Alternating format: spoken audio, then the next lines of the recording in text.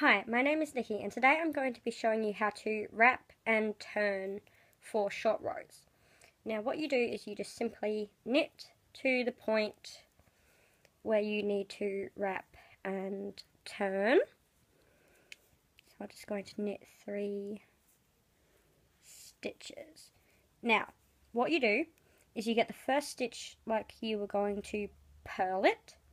You don't, you just slip it off that needle onto your right hand. Now you pull the yarn forward so it looks like this.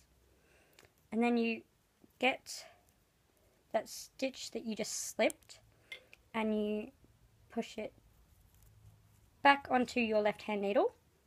Then pull it up and off your right hand. So then it looks like this. Then you turn your needles and then you just knit like normal, back the way you came, and that is how you wrap and turn. I hope this helps. Please like, comment and subscribe.